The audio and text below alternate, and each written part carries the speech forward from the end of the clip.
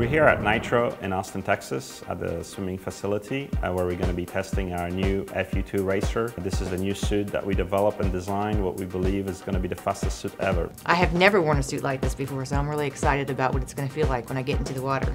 This suit doesn't feel like it's going to have any drag with it, which is what we want if I'm racing. When I put on the suit, it was really tight, but then after a while, it just felt normal. I expect the water to just run off my suit and not have much friction. When we set out to design the new FU2 Racer, we had to consider what was legal under new FINA rules, but at the same time, we wanted to push the envelope of our design and technology to create a suit like no other.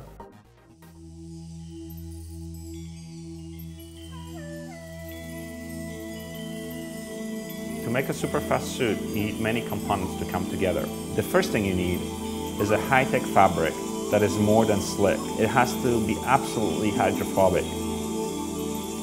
The material used to make the FU2 Racer is beyond anything we ever used in a competitive suit before.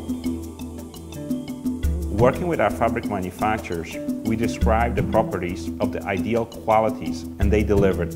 I think the suit is fantastic. The water runs right off of it. I would tell my friends that the suit is really light and it would definitely improve their time.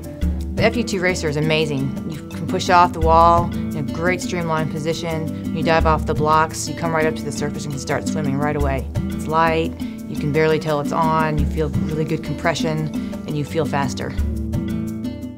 The suit is fast, is hydrophobic, is comfortable. We challenge any swimmer to test our new FU2 Racer against the current suit. So race with attitude.